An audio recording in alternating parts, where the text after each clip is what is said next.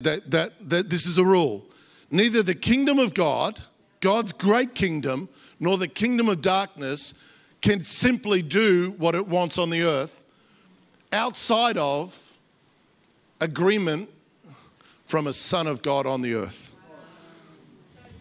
or a son of Adam on the earth. In other words, for the kingdom of darkness to manifest on the earth, a son of Adam or a daughter of Adam must agree with that darkness.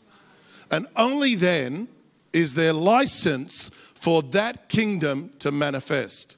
So, the only way that wickedness, demonic wickedness, oppression can land in a, in a nation, in a region, in a business, in a family is that someone, a human being, must agree with it must come into agreement with it, either through action, through, through volition, like it, it has to be an agreement. Someone had to say yes.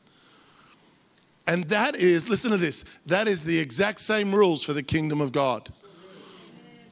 So when people, you know, when people go, oh, you know, even in the church, they're like, oh, why isn't the kingdom of God manifesting in this place or in this region? Now, listen, here's the grow up moment it's not God's fault. And it's not God's lack of willingness or desire or hope. Uh, the Bible says God wills that none would perish.